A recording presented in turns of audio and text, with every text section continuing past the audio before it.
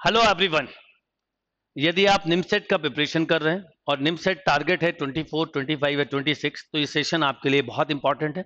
कुछ इंपॉर्टेंट बातें आपके साथ डिस्कस करूँगा। न्यू बैच कब से स्टार्ट हो रहा है वो डिस्कस करूँगा और किन किन बातों का आपको ध्यान रखना है वो डिस्कस करूँगा इंक्लूडिंग अगर आप सेल्फ स्टडी कर रहे हैं तो क्या क्या बातों का ध्यान रखना है। अभी हम सबसे पहले बात करें निमसेट 23 पेपर को देखें। या हम पीछे के किसी पेपर को देखें तो निमसेट में काफ़ी सर, सरप्राइज़ मिलती है। एक बात दूसरी बात कंपटीशन बढ़ता जा रहा है। और तीसरी बात, किसी भी एनआईटी से अगर आप एमसीए करते हैं तो आप देख रहे हैं कि बहुत अच्छे प्लेसमेंट हो रहे हैं। तो अगर आपका ड्रीम एक्चुअल में एनआईटी जाना है तो आपको समय रहते हुए एक्शन लेना है। और एलिजिबिलिटी क्राइटेरिया में चेंज होने के बाद इस बार कैंडिडेट भी बढ़ेंगे। यानी इस बार वो बच्चा भी जिसका ग्रेजुएशन लेवल पे वन ईयर या वन ईयर मैथ्स है वन सेमिस्टर मैथ्स है, वो एलिजिबल है मैथ्स या स्टेटिस्टिक्स का। अभी तक ऐसा नहीं था कि कॉमर्स वाला बीकॉम वाला बच्चा भी दे सकता था, पर अब दे सकता है। वह शर्त है कि उसका वन ईयर मैथ्स या स्टेटिस्टिक्स होना चाहिए। चलिए, अब बात करते हैं कि क्या क्या चीज़ें हैं जो इंपॉर्टेंट है, अगर आप निमसेट करेक्ट करना चाहते हैं। देखिए, जब भी एक सबसे इंपॉर्टेंट बात है जो हर बच्चा मुझसे पूछता है कि, सर, हम प्रिपरेशन कब से करें? मैं बोलता हूँ, जिस दिन आपने सोच लिया कि आपको एमसीए में जाना है या कंप्यूटर फ़ील्ड में करियर बनाना और आपको पता है कि किस तरह से बनाया जा सकता then start preparation same day जैसे अगर आप ये सेशन सुन रहे हैं नाउ स्टार्ट अगर आपको नेक्स्ट ईयर देना है, आप स्टार्ट कर दीजिए अभी से. आपको नेक्स्ट टू नेक्स्ट ईयर देना है, आप स्टार्ट कर दीजिए.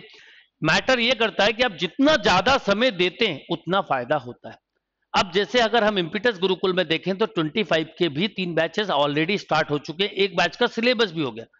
तो क्या होता है कि हम जब पहले से प्रिपरेशन कर रहे होते हैं तो हमें बाद में उसका फ़ायदा मिलता है कॉलेज का प्रेशर नहीं आता. बट मान लीजिए आप 24 के लिए टारगेट कर रहे हैं कोई दिक्कत नहीं है। अभी भी आपके पास वन ईयर का सफिशियंट टाइम है। अगर आप ये एक साल अच्छे से देते हैं प्रॉपर ट्रेनिंग के साथ देते हैं तो मैं श्योर हूँ कि कोई आपके सिलेक्शन को नहीं रोक सकता। इम्पीटस गुरुकुल का जो ट्रेनिंग मॉड्यूल है टेस्टिंग मॉड्यूल है, वो इस तरह से है कि कोई रीजन ही नहीं कि आपका परफॉर्मेंस ना है। बस एक ही चीज़ है जो मैं बोल सकता हूँ कि मैं आपको जिस ढंग से ट्रेंड करूँगा, जो चीज़ें आपको पढ़ाऊँगा, जो टेस्टिंग लूँगा, वो सब मैं अपने एंड पे सब करूँगा। पर बस आपको एग्ज़ाम में जाके जो चीज़ें बोली गई हैं। जो चीज़ें आपने प्रैक्टिस करी है वो भी करके आना है क्योंकि एग्ज़ाम आपको देना है। और वही एग्जामिनेशन प्रेशर कभी कभी कुछ बच्चे नहीं ले पाते इसीलिए ट्रेनिंग या रेगुलर क्लास की ज़रूरत होती है। तो आप लोग इस बात को समझिए कि ये पक्का है कि जो पढ़ाया जाएगा जो मटेरियल दिया जाएगा वैसे ही पेपर आएगा बट एग्जामिनेशन हॉल में तो आपको ही परफॉर्म करना है। अब बात करते हैं नए बैच की तो नया बैच जो है वो ट्वेंटी जून से स्टार्ट हो रहा है जो कि 24, 25 या 26 के लिए होगा। अगर आप मान लीजिए क्लासरूम कोर्स ज्वाइन करना चाहते हैं तो उसके लिए आपको भोपाल आना होगा। आप भोपाल क्लासरूम कोर्स ज्वाइन कर सकते हैं। होल डे आप यहाँ पर रहेंगे per day to classes attend करेंगे, इसके अलावा आप अपनी सेल्फ स्टडी करेंगे। और भोपाल आने के लिए आपको कुछ भी नहीं देखना है, यहाँ हॉस्टल्स वगैरह सब तुरंत ही मिल जाते हैं अवेलेबल रहते हैं। इम्पिटस गुरुकुलों ने ने बात कर रखी है, वो आपको तुरंत मिल जाएगा। उसके लिए डिस्क्रिप्शन में नंबर दिया बात कर सकते हैं। आप भोपाल नहीं आ सकते कॉलेज आपका है, कोई प्रॉब्लम नहीं, आप ऑनलाइन ज्वाइन करिए।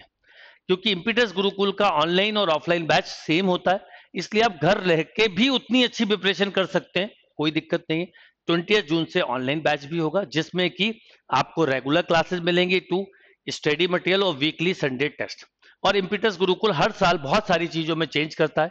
जैसे अभी से मैंने इस बार प्लान किया हुआ और वो हो जाएगा पहले वीक से ही, कि आपको जो वीकली संडे टेस्ट होगा, वो मैथ्स के साथ साथ रीजनिंग का भी आपका टेस्ट होगा रीजनिंग और काउंट का। आप सपोज़ सेल्फ स्टडी कर रहे हैं तो मैं आपको एक सजेशन दूँगा कि सेल्फ स्टडी कर रहे हैं तो भी आप एटलीस्ट टेस्ट सीरीज़ अभी से ज्वाइन करिए, जिससे आपकी परफॉर्मेंस अभी से आप चेक कर पाए।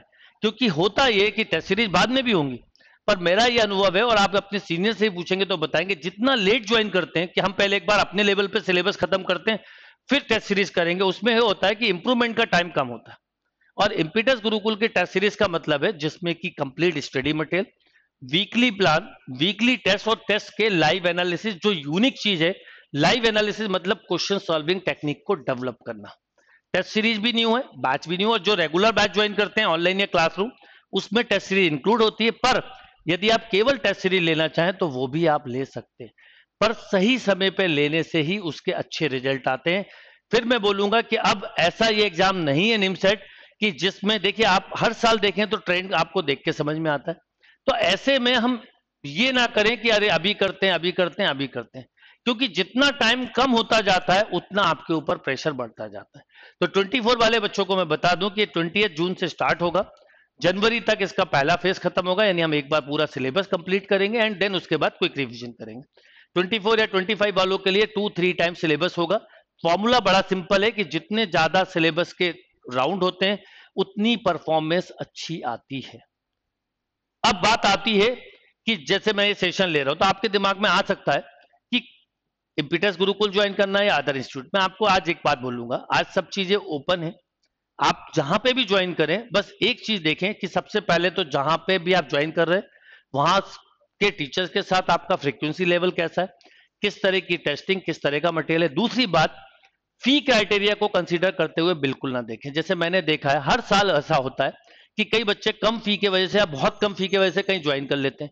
फिर वहाँ क्लासेस नहीं हो रही है, कम क्लासेस हो रही है प्रॉपर टेस्टिंग नहीं हो रही, फिर आप ज्वाइन करते हो। और उसमें जो भी कम भी लगा पर वो पैसा भी गया, फिर आप देते हो। ऐसा मत करिए।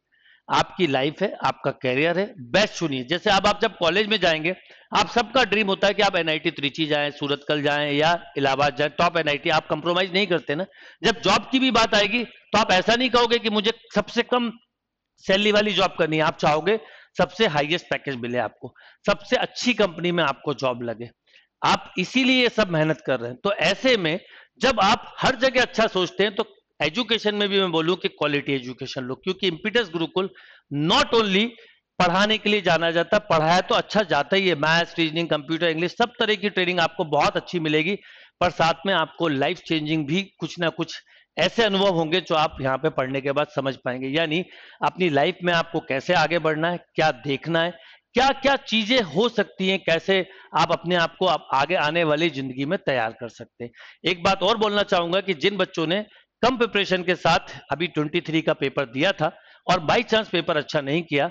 और अगर आपका मन है कि ड्रॉप लेना देखिए ड्रॉप लेना है या नहीं लेना ये हंड्रेड परसेंट आपका डिसीज़न होगा हंड्रेड परसेंट इसमें कोई कंफ्यूजन नहीं होना चाहिए आपको। अगर आपको लगता है कि नहीं, मैं ड्रॉप लेके अच्छा कर सकता हूँ पेपर तो दिया ही है। इस पेपर में बाई चांस नहीं कर पाया पर आगे अच्छा कर सकता हूँ टेक करता हूँ। आपको मन में कोई शंका है, ना लो आप। वो आपका डिसीज़न है। पर आप इस बात को ध्यान रख के चलिए कि जो भी करें, वो बेस्ट करें, यही बोलूँगा। तो ट्वेंटी जून से जो बैच स्टार्ट हो रहा है, उसको आप as soon as possible registration करवाइए। डिस्क्रिप्शन में लिंक दिए हुए हैं। उस लिंक को क्लिक करके आप इस ऑनलाइन बैच से जुड़ सकते हैं या ऑनलाइन और अगर क्लासरूम में आना है तो डिस्क्रिप्शन पे जो नंबर है, उन पे आप मैसेज करिए। फ़ोन करिए, कई बार फ़ोन पिक नहीं होता तो ऐसे में आप अपना मैसेज ड्रॉप करके छोड़ दीजिए। आपको रिस्पॉन्स बिल्कुल मिलेगा। और आप अभी से समय रहते हुए पढ़ाई करिए, जिससे कि आप एक अच्छा रिज़ल्ट दे सकें। Thank you and all the best